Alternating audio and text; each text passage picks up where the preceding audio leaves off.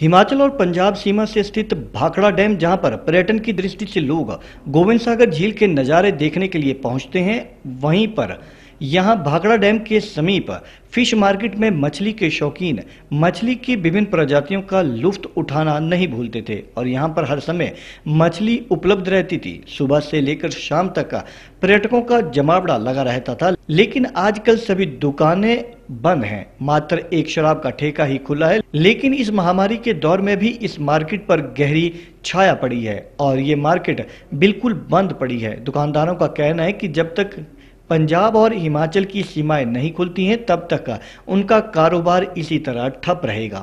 Lockdown के चलते हमारी सब दुकानें ये बंद है और हमारा कामकाज बिल्कुल ठप है जो मछली के सिर पर था।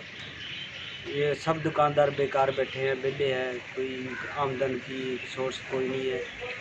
सब परेशानी दिक्कत में चल रहा है।